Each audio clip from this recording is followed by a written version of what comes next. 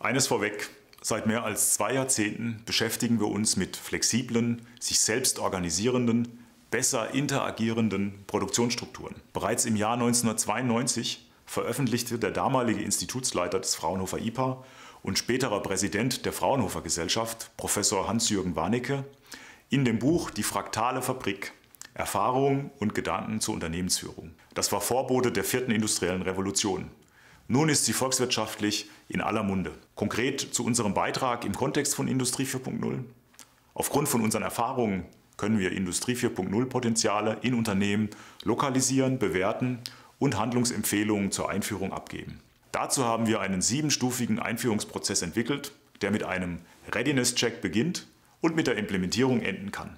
Aktuell beschäftigen wir uns vor allem mit fünf Themenfeldern im Kontext von Industrie 4.0. Erstens Bewirtschaftung von Komplexität. Zweitens Sicherheit in der Cloud. Drittens Lackierung im Kontext von Industrie 4.0. Viertens 3D-Druck und generative Fertigung. Und fünftens Automobilbau der Zukunft am Beispiel des Projektes Arena 2036. Lassen Sie mich ein paar erklärende Worte zu Arena 2036 sagen. Der kooperative Forschungscampus Arena 2036, auf dem Industrie- und Forschungseinrichtungen gemeinsam unter einem Dach arbeiten, entwickelt wettbewerbsfähige Produktionsmodelle für das Automobil, also eine flexible Fabrik der Zukunft. 2036 feiert das Auto nämlich sein 150-jähriges Jubiläum.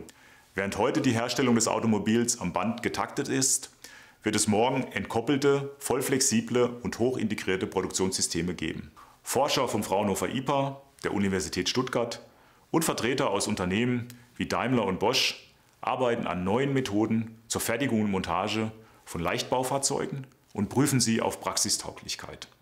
Der Campus soll zusätzlich ein Motor für die Nachwuchsförderung, Weiterbildung und Chancengleichheit sein. In den nächsten 15 Jahren werden so am Standort Stuttgart mehr als 100 Millionen Euro in dieses Thema investiert.